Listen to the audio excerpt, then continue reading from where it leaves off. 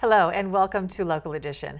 I'm Leslie Leyton. Well, Governor Jerry Brown recently signed a pension reform bill. And uh, here now with a look at what that might mean to you is Senator Gloria Negrete McLeod. Thank you very much for being here. Thank you for having me here again. You know, in the past we talked about pension reform for state workers and what uh, the governor was proposing, and now it's uh, a done deal. Tell us the details about it. Well, the pension, the pension, reform package was signed in September by the governor, uh, which means that by uh, 2015 and 2017, local governments will then have to abide by the pension reform.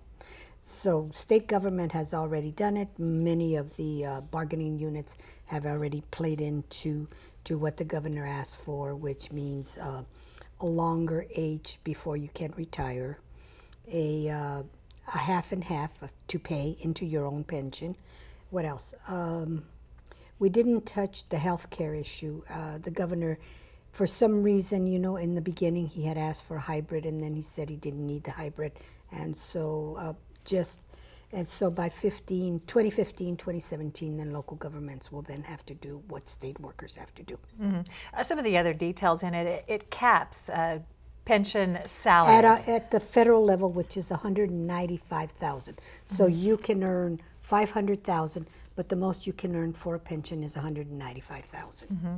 uh, what does this do for what they were calling pension spiking, where people would? Well, uh, you have to go uh, three years before the, to average out what's your pension, and you can add you cannot add on enhancements to make your pension higher. Okay, so it, it's a little more fair in that regard. Uh, some people say it doesn't go far enough. As you say, it doesn't include the 401k pension type of uh, Well, that was the governor's thing.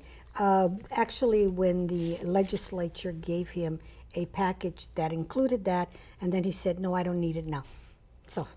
Uh-huh. Um, what kinds of savings can we expect to see by making these reforms? Well, they say anywhere from 20 billion dollars to 40 billion depending but it's on the out years it's not today because pensions are like your mortgage mm -hmm. you don't pay it now you pay it later so the uh, whatever savings there will be will be in the long term not in the short term yes over 30 years some fifty mm -hmm. billion dollars mm -hmm. but aren't we some 500 billion dollars uh, again it's, unfunded it, pension again liabilities? it's like your mortgage mm-hmm. you have a mortgage mm-hmm. that's a liability but you don't expect to pay it now you expect to pay it you know, 20, 30 years, depending what your mortgage is. So it's the same thing with pensions. Mm -hmm. In your opinion, is it a, a, good deal? Do you think there could have been other alterations? Well, like I said, the legislature gave him what we thought was a little bit better. It, it covered a lot of the things that he had asked for in his 12 point plan that was really not in writing, but it was what the governor asked for, so that's what that's what we got.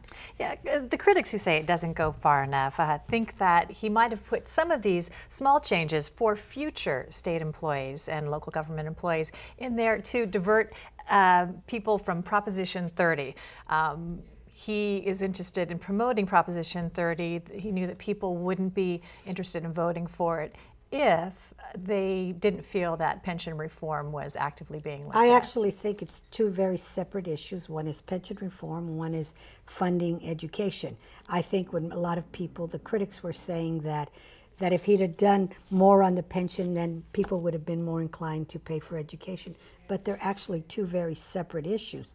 And, and like I've said in, in many times that I've talked to other people, uh, the pension issue got got uh, much to do about it because the papers made much to do about it.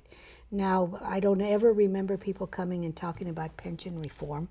You know, how what are we doing on pension reform? Because most people, it wasn't their issue. However, however, education is.